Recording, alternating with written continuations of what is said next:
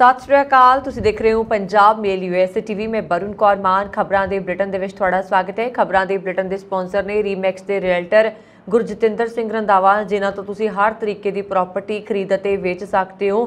Real estate ਦੀ ਦੁਨੀਆ ਦੇ ਵਿੱਚ ਮੰਨਿਆ ਪਰਮੰਨਿਆ ਨਾਮ। ਤੇ ਹੁਣ ਪੇਸ਼ ਨੇ ਪਹਿਲਾਂ ਚੁਣਵੀਆਂ ਖਬਰਾਂ। ਅਮਰੀਕੀ ਰਾਸ਼ਟਰਪਤੀ ਜੋ ਬਾਈਡਨ ਨੇ ਰੂਸੀ ਮਿਜ਼ਾਈਲ ਹਮਲਿਆਂ ਦੀ ਕੀਤੀ ਨਿੰਦਾ। ਅਮਰੀਕੀ ਕੈਲੀਫੋਰਨੀਆ ਵਿੱਚ ਉੱਠਿਆ ਪੰਜਾਬੀਆਂ ਦੀ ਸੁਰੱਖਿਆ ਦਾ ਮੁੱਦਾ।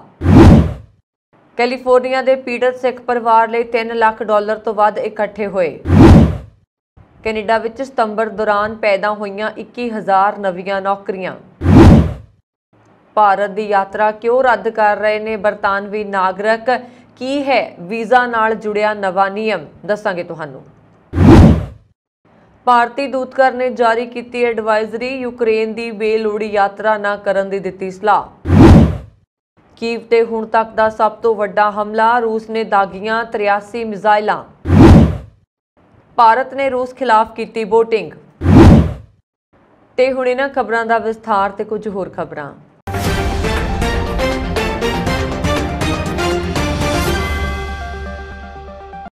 ਅਮਰੀਕੀ ਰਾਸ਼ਟਰਪਤੀ ਜੋ ਬਾਈਡਨ ਨੇ ਸੋਮਵਾਰ ਨੂੰ ਯੂਕਰੇਨ ਵਿੱਚ ਮਿਜ਼ਾਈਲ ਹਮਲਿਆਂ ਲਈ ਰੂਸ ਦੀ ਨਿੰਦਾ ਕੀਤੀ ਹੈ। ਇਹ ਹਮਲੇ 'ਚ ਘੱਟੋ-ਘੱਟ 12 ਨਾਗਰਿਕ ਮਾਰੇ ਗਏ ਨੇ। ਰੂਸ ਨੇ ਸੋਮਵਾਰ ਨੂੰ ਯੂਕਰੇਨ ਦੇ ਕਈ ਸ਼ਹਿਰਾਂ ਤੇ ਮਿਜ਼ਾਈਲ ਹਮਲੇ ਕੀਤੇ। ਰੂਸੀ ਰਾਸ਼ਟਰਪਤੀ ਵਲਾਦੀਮੀਰ ਪੁਤਿਨ ਨੇ ਹਮਲਿਆਂ ਨੂੰ ਯੂਕਰੇਨ ਵੱਲੋਂ ਮਾਸਕੋ ਦੀਆਂ ਫੌਜਾਂ ਨੂੰ ਖਤੇੜਨ ਦੀਆਂ ਕੋਸ਼ਿਸ਼ਾਂ ਦਾ ਜਵਾਬ ਦੱਸਿਆ।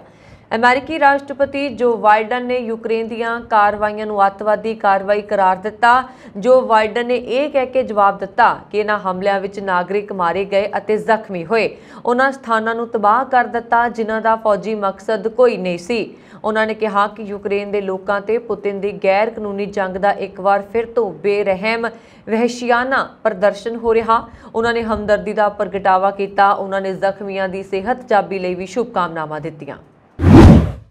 ਇੱਕੋ ਪਰਿਵਾਰ ਦੇ ਚਾਰ ਜੀਆਂ ਦੇ ਕਤਲ ਦੀ ਘਟਨਾ ਨੇ ਕੈਲੀਫੋਰਨੀਆ ਸੂਬੇ ਵਿੱਚ ਵੱਸਦੇ ਪੰਜਾਬੀ ਭਾਈਚਾਰੇ ਦੀ ਸੁਰੱਖਿਆ ਨੂੰ ਲੈ ਕੇ ਵੱਡੇ ਸਵਾਲ ਖੜੇ ਕਰ ਦਿੱਤੇ ਨੇ। ਇਸ ਤੋਂ ਪਹਿਲਾਂ ਵੀ ਇਹ ਭਾਈਚਾਰਾ ਅਮਰੀਕਾ ਦੇ ਇਸ ਸੂਬੇ ਵਿੱਚ ਇਹੋ ਜਿਹੇ ਸੰਤਾਪ ਭੋਗ ਚੁੱਕਿਆ ਹੈ। ਪਿਛਲੇ ਲੰਬੇ ਸਮੇਂ ਤੋਂ ਇਹੋ ਜਿਹੀਆਂ ਵਾਰਦਾਤਾਂ ਵਾਪਰ ਰਹੀਆਂ ਨੇ, ਜਿਨ੍ਹਾਂ ਵਿੱਚ ਕਿਸੇ ਨਾ ਕਿਸੇ ਪੰਜਾਬੀ ਨੌਜਵਾਨ, ਬਜ਼ੁਰਗ ਜਾਂ ਉਹਨਾਂ ਦੇ ਕਿਸੇ ਪਰਿਵਾਰਕ ਮੈਂਬਰ ਦੀ ਜਾਨ ਚਲੀ ਗਈ। ਸੋ ਹੁਣ ਕੈਲੀਫੋਰਨੀਆ ਵਿੱਚ ਪੰਜਾਬੀ ਭਾਈਚਾਰੇ ਦੀ ਸੁਰੱਖਿਆ ਦਾ ਮੁੱਦਾ ਗਰਮਾ ਗਿਆ। ਇਸ ਦੇ ਚਲਦਿਆਂ ਫ੍ਰਿਜਨੋ ਵਿੱਚ ਦੋ ਥਾਵਾਂ ਤੇ ਵੱਡਾ ਇਕੱਠ ਹੋਇਆ, ਜਿਨ੍ਹਾਂ ਵੱਲੋਂ ਇਨਸਾਫ ਦੀ ਮੰਗ ਕੀਤੀ ਗਈ। ਕੈਲੀਫੋਰਨੀਆ ਵਿੱਚ ਕਤਲ ਕੀਤੇ ਗਏ ਭਾਰਤੀ ਮੂਲ ਦੇ ਸਿੱਖ ਪਰਿਵਾਰ ਦੇ ਸੋਗ ਵਿੱਚ ਡੁੱਬੇ ਰਿਸ਼ਤੇਦਾਰਾਂ ਦੀ ਮਦਦ ਲਈ 3 ਲੱਖ ਅਮਰੀਕੀ ਡਾਲਰ ਤੋਂ ਵੱਧ ਦੀ ਰਾਸ਼ੀ ਇਕੱਠੀ ਹੋ ਗਈ ਹੈ। ਪਰਿਵਾਰ ਦੇ ਕੁਝ ਮੈਂਬਰ ਅਮਰੀਕਾ ਤੇ ਮਾਤਾ-ਪਿਤਾ ਭਾਰਤ ਵਿੱਚ ਰਹਿੰਦੇ ਨੇ। ਜ਼ਿਕਰਯੋਗ ਹੈ ਕਿ 8 ਮਹੀਨਿਆਂ ਦੀ ਬੱਚੀ ਉਸਦੇ ਮਾਤਾ-ਪਿਤਾ ਅਤੇ ਇੱਕ ਹੋਰ ਰਿਸ਼ਤੇਦਾਰ ਨੂੰ ਅਗਵਾ ਕਰ ਲਿਆ ਗਿਆ ਸੀ। ਮਗਰੋਂ ਅਗਵਾਕਾਰ ਨੇ ਉਹਨਾਂ ਦੀ ਹੱਤਿਆ ਕਰ ਦਿੱਤੀ ਸੀ। ਹਤਿਆਰਾ ਪਰਿਵਾਰ ਦੀ ਟਰੱਕਿੰਗ ਕੰਪਨੀ ਦਾ ਸਾਬਕਾ ਮੁਲਾਜ਼ਮ ਸੀ। ਗੋ ਫੰਡਮੀ ਫੰਡਰੇਜ਼ਰ ਰਾਹੀਂ ਪੈਸੇ ਇਕੱਠੇ ਕੀਤੇ ਗਏ ਨੇ, ਜੋ ਕਿ ਪਰਿਵਾਰ ਨੂੰ ਦਿੱਤੇ ਜਾਣਗੇ। ਮ੍ਰਿਤਕ ਅਮਨਦੀਪ ਦੀ ਪਤਨੀ ਜਸਪ੍ਰੀਤ ਕੌਰ ਨੇ ਦੱਸਿਆ ਕਿ ਉਸਦੇ ਪਤੀ ਅਤੇ ਉਹਨਾਂ ਦੇ ਭਰਾ ਨੇ ਅਮਰੀਕਾ ਵਿੱਚ 18 ਸਾਲ ਬਿਤਾਏ ਨੇ। ਉਹਨਾਂ ਨਾਲ ਨਾ ਕੇਵਲ ਇੱਥੇ ਪਰਿਵਾਰ ਦਾ ਪਾਲਣ ਪੋਸ਼ਣ ਕੀਤਾ, ਬਲਕਿ ਭਾਰਤ ਰਹਿੰਦੇ ਮਾਪਿਆਂ ਨੂੰ ਵੀ ਸੰਭਾਲਿਆ। ਇਕੱਠੇ ਹੋਏ ਪੈਸੇ ਬੱਚੀ ਅਰੂਹੀ ਦੇ ਦਾਦਾ ਦਾਦੀ ਤੇ ਅਮਨਦੀਪ ਸਿੰਘ ਦੀ ਪਤਨੀ ਨੂੰ ਸੌਂਪੇ ਜਾਣਗੇ ਅਮਨਦੀਪ ਤੇ ਜਸਪ੍ਰੀਤ ਕੌਰ ਦੇ ਦੋ ਬੱਚੇ ਨੇ, ਦੋਵੇਂ 10 ਸਾਲ ਤੋਂ ਘੱਟ ਉਮਰ ਦੇ ਨੇ। ਕੈਨੇਡਾ ਵਿੱਚ ਸਤੰਬਰ ਮਹੀਨੇ ਦੌਰਾਨ 21000 ਨਵੀਆਂ ਨੌਕਰੀਆਂ ਪੈਦਾ ਹੋਈਆਂ ਅਤੇ ਬੇਰੋਜ਼ਗਾਰੀ ਦਰ ਘਟ ਕੇ 5.2% ਹੋ ਗਈ। ਲਗਾਤਾਰ 3 ਮਹੀਨੇ 1 ਲੱਖ ਤੋਂ ਵੱਧ ਨੌਕਰੀਆਂ ਖਤਮ ਹੋਣ ਮਗਰੋਂ ਸਤੰਬਰ ਦੇ ਅੰਕੜੇ ਮੁਲਕ ਦੇ ਅਰਥਚਾਰੇ ਲਈ ਵੱਡੀ ਰਾਹਤ ਲੈ ਕੇ ਆਏ ਨੇ। ਸਟੈਟਸ ਸਕੈਨ ਵੱਲੋਂ ਜਾਰੀ ਰਿਪੋਰਟ ਦੇ ਮੁਤਾਬਕ ਸਿੱਖਿਆ ਅਤੇ ਸਿਹਤ ਖੇਤਰ ਵਿੱਚ ਮਜ਼ਬੂਤੀ ਦੇਖਣ ਨੂੰ ਮਿਲੀ ਹੈ, ਜਦਕਿ ਟਰਾਂਸਪੋਰਟੇਸ਼ਨ, ਮੈਨੂਫੈਕਚਰਿੰਗ ਅਤੇ ਵੇਅਰ ਹਾਊਸਿੰਗ ਵਿੱਚ ਰੋਜ਼ਗਾਰ ਦੇ ਮੌਕੇ ਖਤਮ ਹੋਏ। ਆਰਥਿਕ ਮਾਇਰਾਂ ਦੇ ਮੁਤਾਬਕ ਅਗਸਤ ਵਿੱਚ ਨੁਕਸਾਨ ਦਾ ਕਾਰਨ ਬਣਿਆ ਸਿੱਖਿਆ ਖੇਤਰ ਸਤੰਬਰ ਦੌਰਾਨ 46000 ਨਵੀਆਂ ਨੌਕਰੀਆਂ ਪੈਦਾ ਕਰਨ ਵਿੱਚ ਸਫਲ ਰਿਹਾ। ਕੰਸਟਰਕਸ਼ਨ ਸੈਕਟਰ ਵਿੱਚ ਭਾਵੇਂ 3000 ਤੋਂ ਵੱਧ ਨੌਕਰੀਆਂ ਖਤਮ ਹੋਈਆਂ, ਪਰ ਇੱਥੇ ਕਾਮਿਆਂ ਦੀ ਮੰਗ ਹੀ ਪੂਰੀ ਨਹੀਂ ਹੋ ਰਹੀ ਅਤੇ ਨਵੇਂ ਕਿਰਤੀਆਂ ਨੂੰ ਸਿਖਲਾਈ ਦਿੱਤੀ ਜਾ ਰਹੀ ਹੈ। ਹਜ਼ਾਰਾਂ ਦੀ ਗਿਣਤੀ ਵਿੱਚ ਬ੍ਰਿਟੇਨ ਦੇ ਨਾਗਰਿਕਾਂ ਨੇ ਭਾਰਤ ਦੀ ਯਾਤਰਾ ਰੱਦ ਕਰ ਦਿੱਤੀ ਹੈ। ਇਸ ਦੇ ਪਿੱਛੇ ਵੀਜ਼ਾ ਨਿਯਮਾਂ ਵਿੱਚ ਕਥਿਤ ਬਦਲਾਅ ਦੱਸਿਆ ਜਾ ਰਿਹਾ। ਦ ਟਾਈਮਜ਼ ਯੂਕੇ ਦੀ ਰਿਪੋਰਟ ਦੇ ਮੁਤਾਬਕ, ਆਖਰੀ ਸਮੇਂ ਵਿੱਚ ਟੂਰਿਸਟ ਵੀਜ਼ਾ ਨਿਯਮਾਂ ਵਿੱਚ ਤਬਦੀਲੀਆਂ ਕਾਰਨ ਹਜ਼ਾਰਾਂ ਵਰਤਾਨਵੀ ਨਾਗਰਿਕਾਂ ਨੇ ਭਾਰਤ ਦੀਆਂ ਯਾਤਰਾਵਾਂ ਰੱਦ ਕਰ ਦਿੱਤੀਆਂ ਨੇ। ਪਹਿਲਾਂ ਯੂਕੇ ਵਿੱਚ ਵੀਜ਼ਾ ਕੇਂਦਰ ਤੇ ਵੀਜ਼ਾ ਲਈ ਖੁਦ ਦੀ ਮੌਜੂਦਗੀ ਦੀ ਲੋੜ ਨਹੀਂ ਹੁੰਦੀ ਸੀ, ਪਰ ਨਿਯਮ ਵਿੱਚ ਅਚਾਨਕ ਤਬਦੀਲੀ ਕਾਰਨ ਬ੍ਰਿਟੇਨ ਦੇ ਲੋਕਾਂ ਨੂੰ ਬ੍ਰਿਟੇਨ ਵਿੱਚ ਵੀਜ਼ਾ ਕੇਂਦਰਾਂ ਤੇ ਆਪਣੇ ਆਪ ਨੂੰ ਹਾਜ਼ਰ ਹੋਣ ਲਈ ਮਜਬੂਰ ਹੋਣਾ ਪੈ ਰਿਹਾ। ਜਿਸ ਕਾਰਨ ਬਹੁਤ ਸਾਰੇ ਨਾਗਰਿਕਾਂ ਨੇ ਭਾਰਤ ਦਾ ਦੌਰਾ ਰੱਦ ਕਰ ਦਿੱਤਾ ਹੈ। ਰਿਪੋਰਟ ਵਿੱਚ ਲਿਖਿਆ ਗਿਆ ਹੈ ਕਿ ਹੁਣ ਤੱਕ ਹਜ਼ਾਰਾਂ ਬ੍ਰਿਟਿਸ਼ ਸੈਲਾਨੀ ਭਾਰਤ ਜਾਣ ਲਈ ਵੀਜ਼ਾ ਪ੍ਰਾਪਤ ਕਰਨ ਲਈ ਵੀਜ਼ਾ ਏਜੰਟਾਂ ਤੇ ਨਿਰਭਰ ਸਨ, ਪਰ ਅਚਾਨਕ ਇੱਕ ਨੋਟੀਫਿਕੇਸ਼ਨ ਆਇਆ, ਜਿਸ ਵਿੱਚ ਵੀਜ਼ਾ ਲੈਣ ਲਈ ਵਿਅਕਤੀ ਦੀ ਹਾਜ਼ਰੀ ਲਾਜ਼ਮੀ ਕਰ ਦਿੱਤੀ ਗਈ। ਰਿਪੋਰਟ ਦੇ ਵਿੱਚ ਕਿਹਾ ਗਿਆ ਹੈ ਕਿ ਇਸ ਪ੍ਰਕਿਰਿਆ 'ਚ ਇੱਕ ਹੋਰ ਰੁਕਾਵਟ ਉਦੋਂ ਪੈਦਾ ਹੋਈ ਹੈ ਜਦੋਂ ਦੱਸਿਆ ਗਿਆ ਕਿ ਅਗਲੇ 2 ਮਹੀਨਿਆਂ ਤੱਕ ਬ੍ਰਿਟੇਨ ਦੇ ਲੋਕਾਂ ਲਈ ਕੋਈ ਵੀ ਅਪਾਇੰਟਮੈਂਟ ਉਪਲਬਧ ਨਹੀਂ ਹੈ। ਇਸ ਦੇ ਨਤੀਜੇ ਵਜੋਂ ਭਾਰਤ ਆਉਣ ਵਾਲੇ ਹਜ਼ਾਰਾਂ ਬ੍ਰਿਟਿਸ਼ ਯਾਤਰੀਆਂ ਨੇ ਆਪਣੀਆਂ ਛੁੱਟੀਆਂ ਦੀ ਯੋਜਨਾ ਨੂੰ ਰੱਦ ਕਰ ਦਿੱਤਾ ਹੈ। ਲੰਡਨ ਦੇ ਵਿੱਚ ਭਾਰਤੀ ਹਾਈ ਕਮਿਸ਼ਨ ਨੇ ਹਾਲਾਂਕਿ ਕਿਹਾ ਕਿ ਵੀਜ਼ਾ ਨਿਯਮਾਂ ਵਿੱਚ ਕੋਈ ਬਦਲਾਅ ਨਹੀਂ ਕੀਤਾ ਗਿਆ। ਹਾਈ ਕਮਿਸ਼ਨ ਦੇ ਮੁਤਾਬਕ ਬ੍ਰਿਟਿਸ਼ ਪਾਸਪੋਰਟ ਧਾਰਕਾਂ ਨੂੰ ਇੱਕ ਆਟੋਮੈਟਿਕ ਮੈਸੇਜ ਰਾਹੀਂ ਨਿਯਮ ਵਿੱਚ ਬਦਲਾਅ ਦੀ ਜਾਣਕਾਰੀ ਦਿੱਤੀ ਗਈ ਸੀ।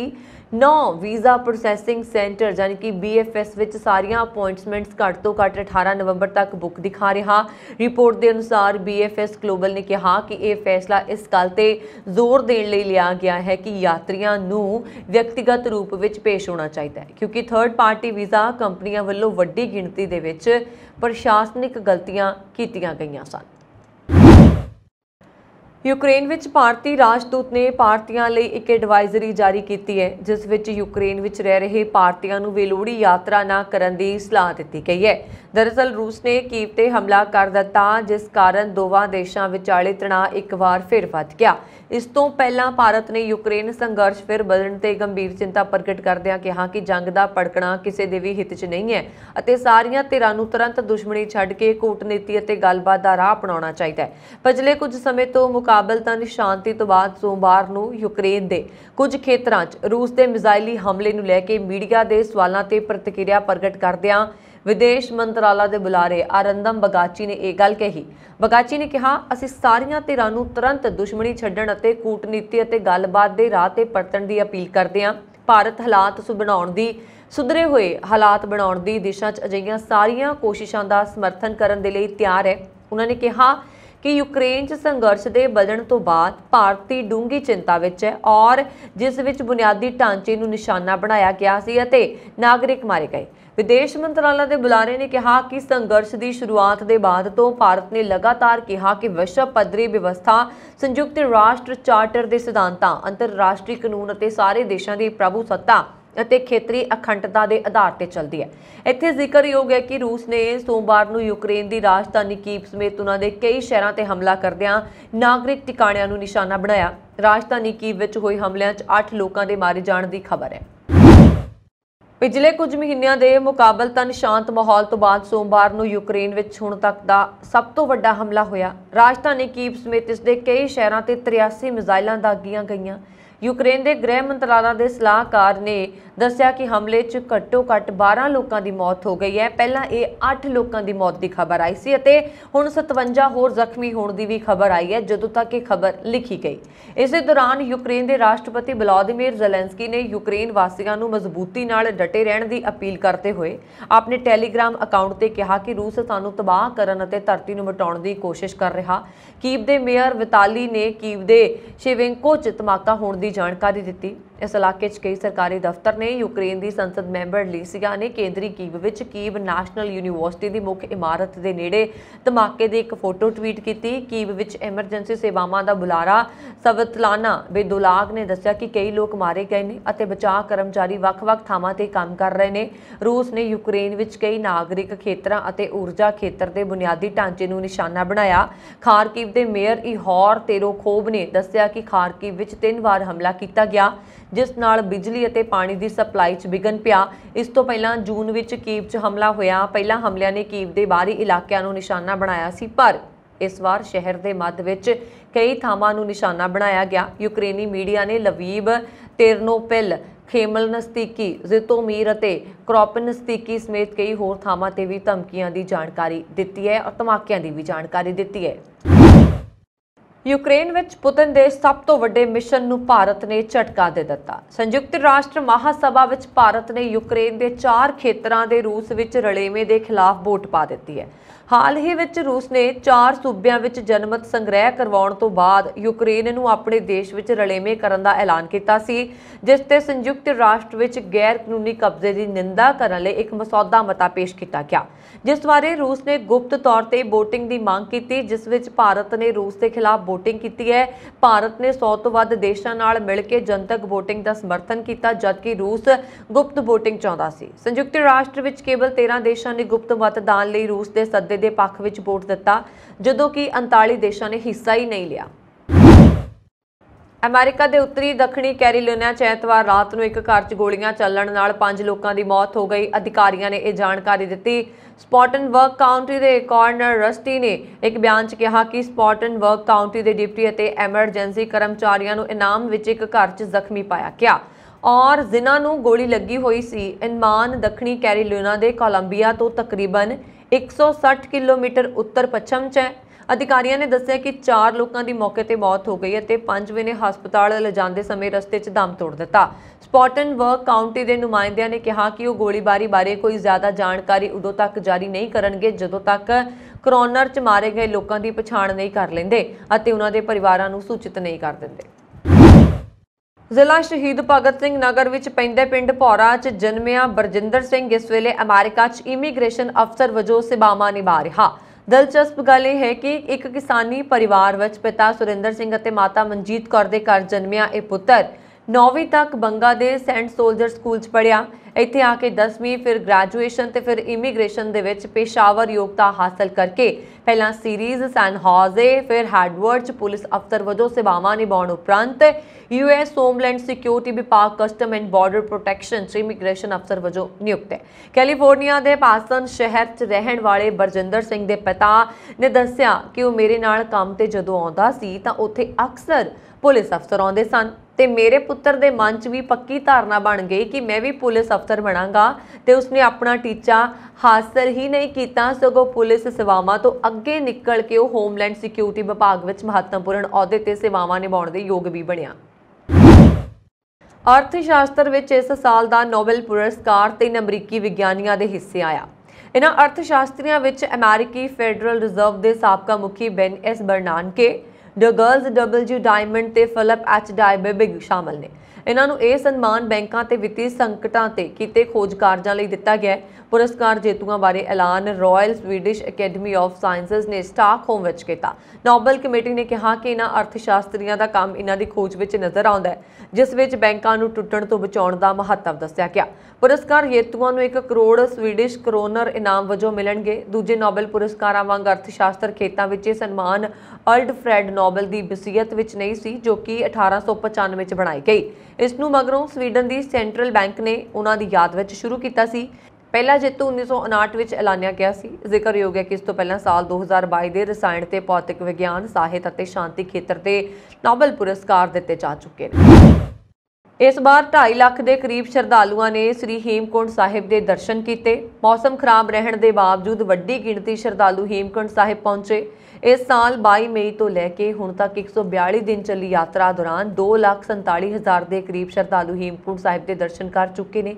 ਦੱਸ ਦਈਏ ਕਿ ਉੱਤਰਾਖੰਡ ਦੇ ਚਮੋਲੀ ਵਿੱਚ ਸਥਿਤ ਗੁਰਦੁਆਰਾ ਹੇਮਕੁੰਟ ਸਾਹਿਬ ਦੇ ਕਵਾੜ ਸੋਮਵਾਰ ਨੂੰ ਬੰਦ ਕਰ ਦਿੱਤੇ ਜਾਣ ਉਪਰੰਤ ਯਾਤਰਾ ਦੀ ਸਮਾਪਤੀ ਹੋ ਗਈ ਹੈ। ਸ੍ਰੀ ਹੇਮਕੁੰਟ ਸਾਹਿਬ ਟਰਸਟ ਦੇ ਮੈਨੇਜਰ ਸੇਵਾ ਸਿੰਘ ਨੇ ਦੱਸਿਆ ਕਿ ਐਤਵਾਰ ਨੂੰ ਭਾਵੇਂ ਇਲਾਕੇ ਵਿੱਚ ਭਾਰੀ ਬਰਫ਼ਬਾਰੀ ਹੋਣ ਕਾਰਨ ਗੋਬਿੰਦ ਘਾਟ ਤੇ ਕੰਗੜੀਆਂ ਵਿੱਚ ਤੀਰਥ ਯਾਤਰਾ ਪ੍ਰਭਾਵਿਤ ਹੋਈ ਸੀ, ਪਰ ਇਸ ਦੇ ਬਾਵਜੂਦ ਸੋਮਵਾਰ ਨੂੰ ਕਬਾੜ ਬੰਦ ਹੋਣ ਤੋਂ ਪਹਿਲਾਂ ਲਗਭਗ 1500 ਦੇ ਕਰੀਬ ਸ਼ਰਧਾਲੂ ਗੁਰਦੁਆਰਾ ਸਾਹਿਬ ਨਤਮਸਤਕ ਹੋਏ। ਉਹਨਾਂ ਨੇ ਦੱਸਿਆ ਕਿ ਇਸ ਸਾਲ 22 ਮਈ ਤੋਂ ਲੈ ਕੇ ਹੁਣ ਤੱਕ 142 ਦਿਨ ਚੱਲੀ ਯਾਤਰਾ 'ਚ। ਇਸ ਦੇ ਦੌਰਾਨ 2,47,000 ਦੇ ਕਰੀਬ ਸ਼ਰਧਾਲੂ ਹੇਮਕੁੰਟ ਸਾਹਿਬ ਦੇ ਦਰਸ਼ਨ ਕਰ ਚੁੱਕੇ ਨੇ। ਉਹਨਾਂ ਨੇ ਦੱਸਿਆ ਕਿ ਹੇਮਕੁੰਟ ਸਾਹਿਬ ਦੇ ਕਿਬਾੜ ਬੰਦ ਕਰਨ ਤੋਂ ਪਹਿਲਾਂ ਸੁਖਮਨੀ ਸਾਹਿਬ ਪਾਠ ਦੇ ਭੋਗ ਪਾਏ ਗਏ। ਗੁਰਦੁਆਰਾ ਸਾਹਿਬ ਦੇ ਹੈੱਡ ਗ੍ਰੰਥੀ ਭਾਈ ਮਿਲਾਪ ਸਿੰਘ ਨੇ ਪਾਠ ਕੀਤਾ। ਉਪਰੰਤ ਭਾਈ ਸੂਬਾ ਸਿੰਘ ਦੇ ਕੀਰਤਨੀ ਜਥੇ ਨੇ ਕੀਰਤਨ ਕੀਤਾ। ਭਾਈ ਗੁਲਾਬ ਸਿੰਘ ਵੱਲੋਂ ਅਰਦਾਸ ਕਰਨ ਉਪਰੰਤ ਗੁਰੂ ਗ੍ਰੰਥ ਸਾਹਿਬ ਜੀ ਦੇ ਸਰੂਪ ਪੰਜ ਪਿਆਰਿਆਂ ਦੀ ਅਗਵਾਈ ਵਿੱਚ ਸੱਚਖੰਡ ਵਿਖੇ ਸੁਸ਼ੋਭਿਤ ਕੀਤੇ ਗਏ। ਇਸ ਮੌਕੇ ਫੌਜੀ ਬੈਂਡ ਅਤੇ ਹੋਰ ਬੈਂਡ ਵੱਲੋਂ ਗੁਰਬਾਣੀ ਦੇ ਕੀਰਤਨ ਦੀਆਂ ਧੁਨਾਂ ਵਜਾਈਆਂ ਗਈਆਂ। ਇਸ ਮੌਕੇ ਭਾਰਤੀ ਫੌਜ ਦੀ 4 ਤੋਂ 18 ਲਾਈਟ ਇੰਜੀਨੀਅਰ, ਰੈਜੀਮੈਂਟ ਤੇ ਅਧਿਕਾਰੀਆਂ ਤੇ ਫੌਜ ਵੀ ਸ਼ਾਮਲ ਸਨ। ਯਾਤਰਾ ਦੀ ਸਮਾਪਤੀ ਮੌਕੇ ਹੇਮਕੁੰਟ ਸਾਹਿਬ ਟਰਸਟ ਦੇ ਪ੍ਰਧਾਨ ਜਨਕ ਸਿੰਘ ਵੀ ਹਾਜ਼ਰ ਸਨ। ਟਰਸਟ ਦੇ ਮੀਤ ਪ੍ਰਧਾਨ ਨਰਿੰਦਰਜੀਤ ਸਿੰਘ ਬਿੰਦਰਾ ਨੇ ਦੱਸਿਆ ਕਿ ਇਸ ਸਾਲ ਯਾਤਰਾ ਦੌਰਾਨ ਇਸ ਬਰੇ ਲਗਭਗ 2.5 ਲੱਖ ਸ਼ਰਧਾਲੂ ਗੁਰਦੁਆਰਾ ਸ੍ਰੀ ਹੇਮਕੁੰਟ ਸਾਹਿਬ ਨਤਮਸਤਕ ਹੋਏ ਸਨ। ਉਹਨਾਂ ਨੇ ਦੱਸਿਆ ਕਿ ਇਸ ਵਾਰ ਯਾਤਰਾ ਨੂੰ ਸੁਖਦ ਬਣਾਉਣ ਲਈ ਉੱਤਰਾਖੰਡ ਸਰਕਾਰ ਤੇ ਪ੍ਰਸ਼ਾਸਨ ਨੇ ਵੱਡਾ ਸਹਿਯੋਗ ਦਿੱਤਾ ਹੈ। ਮੌਸਮ ਵੀ ਠੀਕ ਰਿਹਾ, ਜਿਸ ਕਰਕੇ ਵੱਡੀ ਗਿਣਤੀ ਸੰਗਤ ਦਰਸ਼ਨਾਂ ਲਈ ਪੁੱਜੀਆਂ। ਗਦਰ ਲਹਿਰ ਦਾ ਬੂਟਾ ਲਗਾਉਣ ਵਾਲੀ ਮੋਢੀ ਸੰਸਥਾਪਕ Pacific Coast Khalsa Diwan Society Stockton ਵੱਲੋਂ 110ਵੇਂ ਸਥਾਪਨਾ ਦਿਹਾੜੇ ਮੌਕੇ ਤੇ ਇਹ ਦੋ ਦਿਨਾਂ ਕਾਨਫਰੰਸ ਕਰਵਾਈ ਗਈ। ਇਸ ਮੌਕੇ ਵੱਖ-ਵੱਖ ਵਿਸ਼ਿਆਂ ਤੇ ਲੈਕਚਰ ਕਰਵਾਏ ਗਏ। ਇਸ ਮੌਕੇ ਬੁਲਾਰਿਆਂ ਨੇ ਗਦਰ ਲਹਿਰ ਦੇ ਇਤਿਹਾਸ ਨੂੰ ਵਿਗਾੜਨ ਵਾਲੇ ਵਰਤਾਂਤ ਬਾਰੇ ਸੰਗਤਾਂ ਨੂੰ ਜਾਣੂ ਕਰਵਾਇਆ। BC ਤੋਂ ਪਹੁੰਚੇ ਸਿੱਖ ਵਿਦਵਾਨ ਡਾਕਟਰ ਗੁਰਵਿੰਦਰ ਸਿੰਘ, ਚਿੰਤਕ ਅਮਰੀਕ ਸਿੰਘ ਆਦ ਜਿਹੜੇ ਨੇ, ਉਹਨਾਂ ਨੇ ਆਪਣੇ ਵਿਚਾਰ ਸਾਂਝੇ ਕੀਤੇ। ਬੁਲਾਰਿਆਂ ਨੇ ਇਤਿਹਾਸਕ ਹਵਾਲਿਆਂ ਨਾਲ ਇਹ ਸਿੱਧ ਕੀਤਾ ਹੈ ਕਿ ਗਦਰ ਲਹਿਰ ਦੇ ਅਸਲ ਬਿਰਤਾਂਤ ਨੂੰ ਗੁਰਬਾਣੀ, ਸਿੱਖ ਇਤਿਹਾਸ ਅਤੇ ਵਿਰਾਸਤ ਨਾਲੋਂ ਤੋੜ ਕੇ ਖੱਬੇ ਪੱਖੀ ਧਾਰਨਾਵਾਂ ਨਾਲ ਜਬਰੀ ਜੁੜਿਆ ਜਾਣਾ ਇੱਕ ਸਾਜ਼ਿਸ਼ ਹੈ। ਨਾਰਥ ਯਾਰਕ ਦੇ ਇੱਕ ਸਪੋਰਟਸ ਕੰਪਲੈਕਸ ਵਿੱਚ ਹੋਈ ਗੋਲੀਬਾਰੀ ਦੌਰਾਨ ਇੱਕ ਜਣੇ ਦੀ ਮੌਤ ਹੋ ਗਈ, ਜਦਕਿ ਦੋ ਹੋਰ ਜ਼ਖਮੀ ਹੋ ਗਏ। ਟੋਰਾਂਟੋ ਪੁਲਿਸ ਨੇ ਦੱਸਿਆ ਕਿ ਡਾਫਰਿਨ ਸਟਰੀਟ ਦੇ ਪੱਛਮ ਵੱਲ ਸਥਿਤ ਫਿੰਚ ਐਵਨਿਊ ਤੇ ਅਲਾਨੈਸ ਸਟਰੀਟ ਨੇੜੇ ਗੋਲੀਆਂ ਚੱਲਣ ਦੀ ਇਤਲਾਹ ਮਿਲਣ ਤੇ ਪੁਲਿਸ ਅਫਸਰ ਮੌਕੇ ਤੇ ਪਹੁੰਚੇ ਸਨ। ਇਸ ਤੋਂ ਕੁਝ ਦੇਰ ਬਾਅਦ ਲਾ ਲੀਗ ਸਪੋਰਟਸ ਕੰਪਲੈਕਸ ਵੱਲ ਗਏ। ਪੁਲਿਸ ਅਫਸਰਾਂ ਨੂੰ ਤਿੰਨ ਜਣੇ ਗੰਭੀਰ ਜ਼ਖਮੀ ਹਾਲਤ ਵਿੱਚ ਮਿਲੇ। ਟੋਰਾਂਟੋ ਪੈਰਾਮੈਡਿਕਸ ਵੱਲੋਂ ਤਿੰਨਾਂ ਨੂੰ ਟਰਾਮਾ ਸੈਂਟਰ ਵਿੱਚ ਦਾਖਲ ਕਰਵਾਇਆ ਗਿਆ ਅਤੇ ਐਤਵਾਰ ਦੇਰ ਰਾਤ ਇੱਕ ਜਣਾ ਜ਼ਖਮਾਂ ਦੀ ਤਾਬ ਨਾਲ ਚੱਲਦਾ ਹੋਇਆ ਦਮ ਤੋੜ ਗਿਆ। ਬਾਕੀ ਦੋ ਜਣਿਆਂ ਦਾ ਹਸਪਤਾਲ ਵਿੱਚ ਇਲਾਜ ਚੱਲ ਰਿਹਾ, ਪਰ ਇਹਨਾਂ ਦੀ ਹਾਲਤ ਵਿੱਚ ਫਿਲਹਾਲ ਖਤਰੇ ਤੋਂ ਹੱਲੇ ਬਾਹਰ ਨਹੀਂ ਹੈ ਔਰ ਡਿਊਟੀ ਇੰਸਪੈਕਟਰ ਸਲੀਮ ਹੁਸੈਨ ਨੇ ਦੱਸਿਆ ਹੈ ਕਿ ਫਿਲਹਾਲ ਗੋਲੀਬਾਰੀ ਦੇ ਕਾਰਨ ਪਤਾ ਕਰਨ ਅਤੇ ਗਵਾਹਾਂ ਨਾਲ ਗੱਲਬਾਤ ਕਰਨ ਦੇ ਯਤਨ ਕੀਤੇ ਜਾ ਰਹੇ ਨੇ। ਦੂਜੇ ਪਾਸੇ ਫੋਰੈਂਸਿਕ ਮਾਹਰਾਂ ਵੱਲੋਂ ਡੂੰਘਾਈ ਨਾਲ ਪੜਤਾਲ ਕਰਦਿਆਂ ਸੁਰਾਗ ਇਕੱਤਰ ਕਰਨ ਦੇ ਯਤਨ ਕੀਤੇ ਜਾ ਰਹੇ ਨੇ। ਮੌਨਚੈਸਟਰ ਵਿੱਚ ਇੱਕ 62 ਸਾਲਾ ਸਿੱਖ ਵਿਅਕਤੀ ਨੂੰ ਬਿਨਾਂ ਕਿਸੇ ਕਾਰਨ ਦੇ ਮੁੱਕਾ ਮਾਰ ਕੇ ਮਾਰਨ ਵਾਲੇ ਵਿਅਕਤੀ ਨੂੰ 3 ਸਾਲ ਦੀ ਕੈਦ ਦੀ ਸਜ਼ਾ ਸੁਣਾਈ ਗਈ ਹੈ। ਜਾਣਕਾਰੀ ਦੇ ਅਨੁਸਾਰ ਅਵਤਾਰ ਸਿੰਘ 23 ਜੂਨ ਨੂੰ ਆਪਣਾ ਕੰਮ ਖਤਮ ਕਰਕੇ ਘਰ ਨੂੰ ਜਾ ਰਹੇ ਸਨ। ਇਸ ਦੌਰਾਨ 28 ਸਾਲਾ ਕਲਾਉਡੀਓ ਕੰਪੈਸ ਨੇ ਸ਼ਹਿਰ ਦੇ ਕੇਂਦਰ ਦੇ ਠੀਬੇ ਸਟਰੀਟ ਇਲਾਕੇ 'ਚ ਬਿਨਾਂ ਕਿਸੇ ਕਾਰਨ ਉਸ ਤੇ ਹਮਲਾ ਕਰ ਦਿੱਤਾ। ਉਸਨੇ ਬਜ਼ੁਰਗ ਦੇ ਸਿਰ ਤੇ ਮੁੱਕਾ ਮਾਰਿਆ, ਜਿਸ ਕਾਰਨ ਅਵਤਾਰ ਸਿੰਘ ਉਸੇ ਸਮੇਂ ਸੜਕ ਤੇ ਬੇਹੋਸ਼ ਹੋ ਕੇ ਡਿੱਗ ਪਏ। ਹਮਲਾਵਾਰ ਉਸ ਨੂੰ ਉੱਥੇ ਹੀ ਛੱਡ ਕੇ ਚਲਾ ਗਿਆ। ਕਿਸੇ ਰਾਹਗੀਰ ਨੇ ਐਂਬੂਲੈਂਸ ਬੁਲਾ ਕੇ ਜ਼ਖਮੀ ਵਿਅਕਤੀ ਨੂੰ ਹਸਪੀਟਲ ਪਹੁੰਚਾਇਆ ਸੀ। ਅਵਤਾਰ ਸਿੰਘ ਦੇ ਸਿਰ ਵਿੱਚ ਗੰਭੀਰ ਸੱਟਾਂ ਲੱਗੀਆਂ ਸਨ। ਬ੍ਰੇਨ ਹੈਮਰੇਜ ਦੇ ਨਾਲ-ਨਾਲ ਗਾਲ ਜਬਾੜੇ ਵਿੱਚ ਕਈ ਫ੍ਰੈਕਚਰ ਆ ਗਏ ਸਨ। ਇਲਾਜ ਦੌਰਾਨ ਉਹਨਾਂ ਦੀ ਮੌਤ ਹੋ ਗਈ ਸੀ। ਪੁਲਿਸ ਨੇ ਹਮਲਾਵਾਰ ਨੂੰ ਸੀਸੀਟੀਵੀ ਫੁਟੇਜ ਦੇ ਆਧਾਰ ਤੇ ਗ੍ਰਿਫਤਾਰ ਕਰ ਲਿਆ। ਉਸਾਂ ਨੇ ਆਪਣੇ ਜ਼ੁਰਮ ਵੀ ਕਬੂਲ ਕਰ ਲਏ। ਕੇਂਦਰੀ ਗ੍ਰਹਿ ਮੰਤਰਾਲਾ ਨੇ ਪੰਜਾਬ ਦੇ ਪੰਜ ਬੀਜੇਪੀ ਲੀਡਰਾਂ ਦੇ ਖਤਰੇ ਨੂੰ ਵੇਖਦੇ ਹੋਏ ਉਹਨਾਂ ਦੀ ਸੁਰੱਖਿਆ ਵਧਾ ਦਿੱਤੀ ਹੈ। ਸਾਰੇ ਲੀਡਰਾਂ ਨੂੰ ਵਾਈ ਸ਼੍ਰੇਣੀ ਦੀ ਸੁਰੱਖਿਆ ਪ੍ਰਦਾਨ ਕੀਤੀ ਗਈ ਹੈ। ਇਹ ਪੰਜ ਆਗੂ ਹਾਲ ਹੀ ਵਿੱਚ ਕੈਪਟਨ ਅਮਰਿੰਦਰ ਸਿੰਘ ਦੇ ਨਾਲ ਭਾਜਪਾ 'ਚ ਸ਼ਾਮਲ ਹੋਏ ਸਨ। ਸੂਤਰਾਂ ਤੋਂ ਮਿਲੀ ਜਾਣਕਾਰੀ ਦੇ ਮੁਤਾਬਕ ਸਾਬਕਾ ਸੰਸਦ ਮੈਂਬਰ ਅਮਰੀਕ ਸਿੰਘ ਅੱਲੀਵਾੜ ਸਾਬਕਾ ਵਿਧਾਇਕ ਹਰਜਿੰਦਰ ਸਿੰਘ ਠੇਕੇਦਾਰ ਸਾਬਕਾ ਵਿਧਾਇਕ ਹਰਚੰਦ ਕੌਰ ਤੇ ਸਾਬਕਾ ਵਿਧਾਇਕ ਪ੍ਰੇਮ ਮਿੱਤਲ ਅਤੇ ਕਮਲਦੀਪ ਸੈਣੀ ਦੀ ਸੁਰੱਖਿਆ ਵਧਾਉਣ ਦਾ ਫੈਸਲਾ ਕੀਤਾ ਗਿਆ ਹੈ। ਇਹਨਾਂ ਸਾਰਿਆਂ ਨੂੰ ਵਾਈ ਕੈਟਾਗਰੀ ਤਹਿਤ ਸੀਆਰਪੀਐਫ ਦੇ ਜਵਾਨਾਂ ਦਾ ਕਵਰ ਦਿੱਤਾ ਜਾਏਗਾ। ਸੂਤਰਾਂ ਦੇ ਮੁਤਾਬਕ ਖੂਫੀਆ ਏਜੰਸੀ ਇੰਟੈਲੀਜੈਂਸ ਬਿਊਰੋ ਨੇ ਇਹਨਾਂ ਪੰਜ ਨੇਤਾਵਾਂ ਤੇ ਖਤਰੇ ਨੂੰ ਲੈ ਕੇ ਗ੍ਰਹਿ ਮੰਤਰਾਲੇ ਨੂੰ ਰਿਪੋਰਟ ਸੌਂਪੀ ਸੀ। ਇਸ ਤੋਂ ਬਾਅਦ ਗ੍ਰਹਿ ਮੰਤਰਾਲਾ ਨੇ ਸਾਰਿਆਂ ਨੂੰ ਸੁਰੱਖਿਆ ਦੇਣ ਦਾ ਫੈਸਲਾ ਕੀਤਾ। ਇੱਥੇ ਦੱਸ ਦਈਏ ਕਿ ਪੰਜਾਬ ਦੇ ਸਾਬਕਾ ਮੁੱਖ ਮੰਤਰੀ ਕੈਪਟਨ ਅਮਰਿੰਦਰ ਸਿੰਘ ਪਿਛਲੇ ਮਹੀਨੇ ਆਪਣੀ ਪਾਰਟੀ ਸਣੇ ਭਾਰਤੀ ਜਨਤਾ ਪਾਰਟੀ 'ਚ ਸ਼ਾਮਲ ਹੋ ਗਏ ਸੀ। ਇਹ ਪੰਜ ਆਗੂ ਵੀ ਕੈਪਟਨ ਦੇ ਨਾਲ ਭਾਜਪਾ ਵਿੱਚ ਸ਼ਾਮਲ ਹੋ ਗਏ ਸਨ। ਮੁੱਖ ਮੰਤਰੀ ਦੇ ਅਹੁਦੇ ਤੋਂ ਹਟਾਏ ਜਾਣ ਮਗਰੋਂ ਪਿਛਲੀ ਪਿਛਲੀਆਂ ਪੰਜਾਬ ਵਿਧਾਨ ਸਭਾ ਚੋਣਾਂ ਤੋਂ ਪਹਿਲਾਂ ਕੈਪਟਨ ਅਮਰਿੰਦਰ ਸਿੰਘ ਨੇ ਕਾਂਗਰਸ ਤੋਂ ਅੱਡ ਹੋ ਕੇ ਨਵੀਂ ਪਾਰਟੀ ਪੰਜਾਬ ਲੋਕ ਕਾਂਗਰਸ ਬਣਾਈ ਸੀ। ਵਿਧਾਨ ਸਭਾ ਚੋਣਾਂ ਤੋਂ ਬਾਅਦ ਅੰਦਰੂਨੀ ਬਗਾਵਤ ਦਾ ਸਾਹਮਣਾ ਕਰ ਰਹੇ ਸ਼੍ਰੋਮਣੀ ਅਕਾਲੀ ਦਲ ਵਿੱਚ ਹੁਣ ਇੱਕ ਨਵਾਂ ਬਖੇੜਾ ਖੜਾ ਹੋ ਗਿਆ। ਇਹ ਪੰਗਾ ਅਕਾਲੀ ਦਲ ਵਿੱਚ ਹੀ ਨਵੀਂ ਬਣਾਈ ਗਈ ਕੋਆਰਡੀਨੇਸ਼ਨ ਕਮੇਟੀ ਨੂੰ ਲੈ ਕੇ ਖੜਾ ਹੋਇਆ ਹੈ। ਦਰਅਸਲ, ਅਕਾਲੀ ਦਲ ਦੇ ਸੀਨੀਅਰ ਆਗੂ ਜਗਮੀਤ ਸਿੰਘ ਬਰਾੜ ਨੇ 21 ਮੈਂਬਰੀ ਕੋਆਰਡੀਨੇਸ਼ਨ ਕਮੇਟੀ ਦਾ ਐਲਾਨ ਕੀਤਾ। ਇਸ ਕਮੇਟੀ ਵਿੱਚ ਸ਼੍ਰੋਮਣੀ ਗੁਰਦੁਆਰਾ ਪ੍ਰਬੰਧਕ ਕਮੇਟੀ ਦੇ ਪ੍ਰਧਾਨ ਹਰਜਿੰਦਰ ਸਿੰਘ ਧਾਮੀ ਤੋਂ ਇਲਾਵਾ ਸੁਖਬੀਰ ਸਿੰਘ ਬਾਦਲ, ਸੁਖਦੇਵ ਸਿੰਘ ਢੀਂਡਸਾ, ਸਿਮਰਨਜੀਤ ਸਿੰਘ ਮਾਨ, ਬਲਵਿੰਦਰ ਸਿੰਘ ਭੁੰਦੜ, ਰਵਿੰਦਰ ਸਿੰਘ, ਚਰਨਜੀਤ ਸਿੰਘ ਅਟਵਾਲ, ਪ੍ਰੋਫੈਸਰ ਸਿੰਘ ਚੰਦੂ ਮਾਜਰਾ ਤੋਂ ਇਲਾਵਾ 11 ਹੋਰ ਵੱਡੇ ਆਗੂਆਂ ਨੂੰ ਸ਼ਾਮਲ ਕੀਤਾ ਗਿਆ। ਅਕਾਲੀ ਦਲ ਨੇ ਜਗਮੀਤ ਸਿੰਘ ਬਰਾੜ ਵੱਲੋਂ ਬਣਾਈ ਗਈ ਕੋਆਰਡੀਨੇਸ਼ਨ ਕਮੇਟੀ ਨੂੰ ਖਾਰਜ ਕਰ ਦਿੱਤਾ ਹੈ। ਅਕਾਲੀ ਦਲ ਦੇ ਆਗੂ ਅਤੇ ਬੁਲਾਰੇ ਦਲਜੀਤ ਸਿੰਘ ਚੀਮਾ ਨੇ ਟਵੀਟ ਕਰਕੇ ਕਿਹਾ ਕਿ ਜਗਮੀਤ ਬਰਾੜ ਕੋਲ ਕੋਈ ਅਜਿਹਾ ਅਧਿਕਾਰ ਨਹੀਂ ਹੈ ਕਿ ਉਹ ਪਾਰਟੀ ਦੀ ਤਾਲਮੇਲ ਕਮੇਟੀ ਬਣਾ ਸਕਣ। ਚੀਮਾ ਨੇ ਕਿਹਾ ਕਿ ਸ਼੍ਰੋਮਣੀ ਅਕਾਲੀ ਦਲ ਸਪਸ਼ਟ ਕਰਦਾ ਹੈ ਕਿ ਅਸੀਂ ਨਾ ਤਾਂ ਕੋਈ ਤਾਲਮੇਲ ਕਮੇਟੀ ਬਣਾਈ ਹੈ ਅਤੇ ਨਾ ਹੀ ਕਿਸੇ ਨੂੰ ਕਮੇਟੀ ਬਣਾਉਣ ਦਾ ਅਧਿਕਾਰ ਦਿੱਤਾ ਹੈ।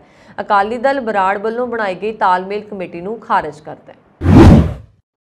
ਪੰਜਾਬ ਦੇ ਮੁੱਖ ਮੰਤਰੀ ਭਗਵੰਤ ਸਿੰਘ ਮਾਨ ਦੇ ਦਿਸ਼ਾ ਨਿਰਦੇਸ਼ਾਂ ਤੇ ਸਮਾਜ ਵਿਰੋਧੀ ਅਨਸਰਾਂ ਵਿਰੁੱਧ ਸਰਗਰਮ ਪਹੁੰਚ ਅਪਣਾਉਂਦੇ ਹੋਏ ਪੰਜਾਬ ਪੁਲਿਸ ਨੇ ਪਿਛਲੇ 10 ਦਿਨਾਂ ਦੌਰਾਨ 17 ਅੱਤਵਾਦੀਆਂ ਨੂੰ ਗ੍ਰਿਫਤਾਰ ਕਰਕੇ ਪੰਜ ਵੱਡੇ ਅੱਤਵਾਦੀ ਮੋਡਿਊਲਾਂ ਦਾ ਪਰਦਾਫਾਸ਼ ਕੀਤਾ ਹੈ।